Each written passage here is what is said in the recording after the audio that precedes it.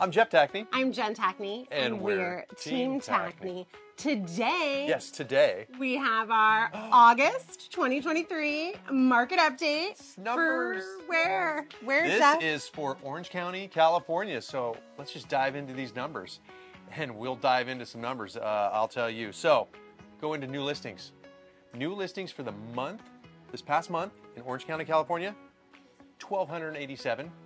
You compare that to the year before, 1,900. We're down 32.3%.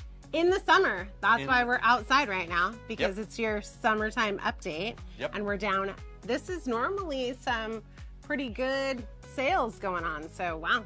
Yeah. We're down 30. So to be down a third in the height of the market is cray cray. Uh, so now in June there was 1336. We're, so we're only down 3.7 off of month to month, but year on year it's a third off. Closings, Can I ask a question? sure, Why does month to month matter? because it gives us a more focused uh, pattern as far as whether the uh, market is going up, down, or sideways on a more granular level, rather than a uh, hyper, uh, uh, hypo-focused uh, 3,000. So, what does the 3% tell us? that we're not? It's not. We're not falling off a cliff or anything. We're just three percent off. But 33 So, percent. we're stable? Is that what that tells us? Okay. As, yeah. as we have to really can be. get it out of him, right? Because I don't really, you know, we want to know, Jeff. And join us for Nerd Talk. Okay, so We need you to dumb it down for me. okay, we'll Thank do. Thank we'll you. do. Thank you. Here to dumb it down. Uh, so closings, Yes. 1,107 closings. Compare that to 1,228 last year. We're down 10%. 10% on closings. And What does that mean? So less closings, less homes hitting the market, and less closings.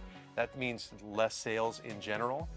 The less sales, less inventory, the higher the price typically. So let's dive into that next.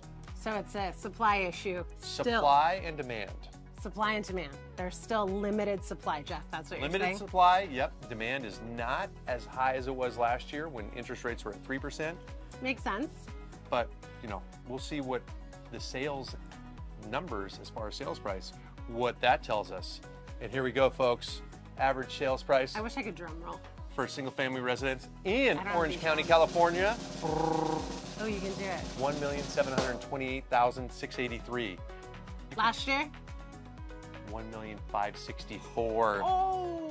We're up 10.5%. Oh my gosh! Spoiler alert! Up ten percent. We could have start. We could have started with that. Okay, well, we get we have dessert last. So, uh, 10% up. And we were asking, why is it? I thought the market was slowing down. No, the number of sales is slowing down. Sales price because of supply and demand. It's up 10 percent. So great news if you're a seller. Yep. Not the best news if you're a buyer, especially the buyers that have been waiting for the market to tank. It doesn't seem. It's just. It doesn't seem to be happening. And if interest rates go down, supply is not going to come up as quickly as interest rates go down. So there's going to be a moment in time where we're going to see some crazy numbers.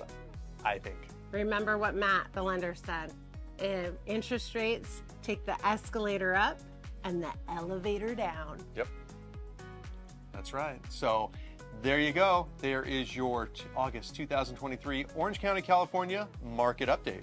Thanks for watching. If you enjoyed this video, please be sure to give us a thumbs up, hit the like button, subscribe to our channel if you want to be notified the next time we put a video up. Hit the bell icon. Thanks for watching. Bye for now. Bye.